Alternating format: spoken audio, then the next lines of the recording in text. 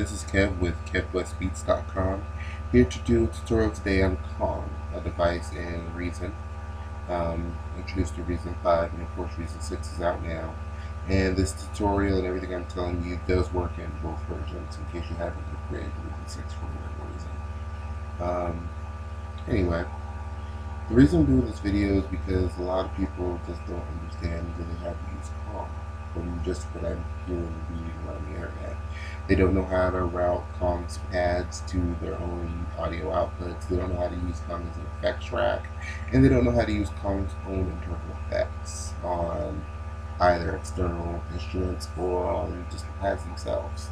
So I'm going to cover those three things today in my video.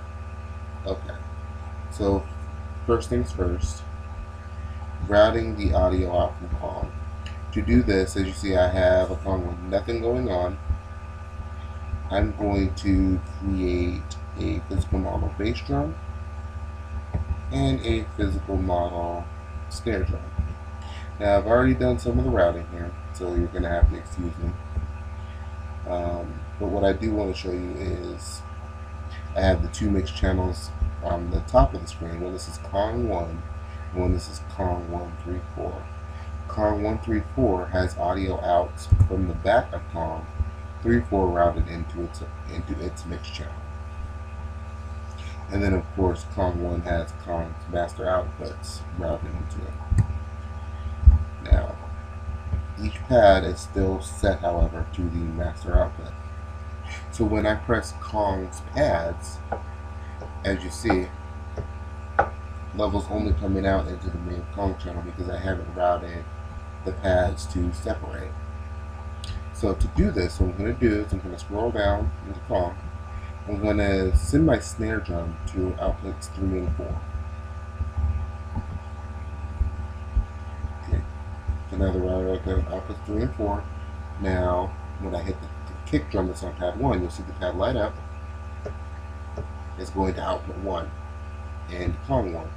When I hit pad 2, now you see the audio is coming out from pad 2 in the 3-4, but it's not routing into mix channel 1 because the channels are now separated.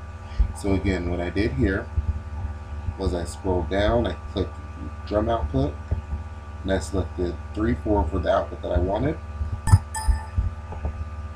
I flipped Kong around, I took the outputs, and I just routed them into the new mix channel to keep them separate.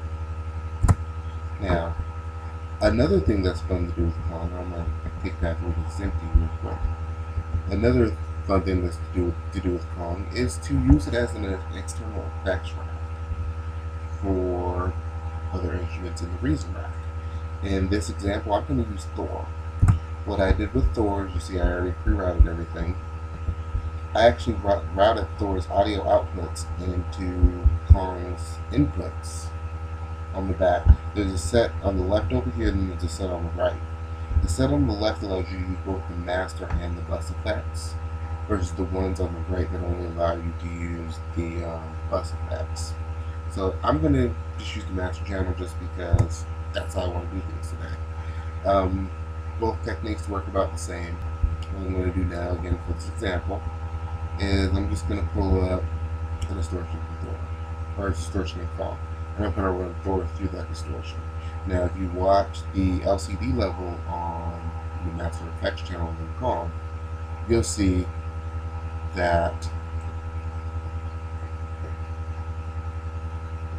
the audio for Thor is now running into Kong.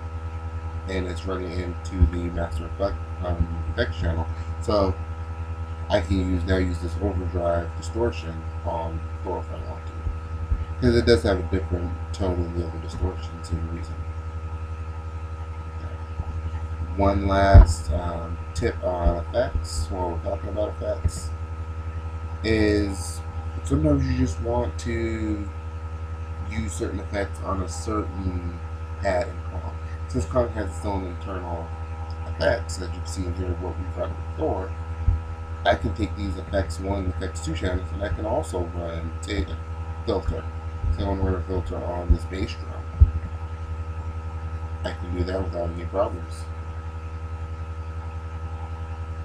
And yeah, it's going to run through the master effects channel also, but it also ran through its own effects bus. You can turn up the aux a little bit, and that's how you run it through their own independent, independent channels.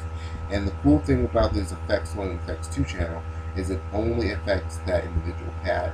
If I switch to pad 2, they don't have the same effects on there. The only global effects are in the master and bus effects channel.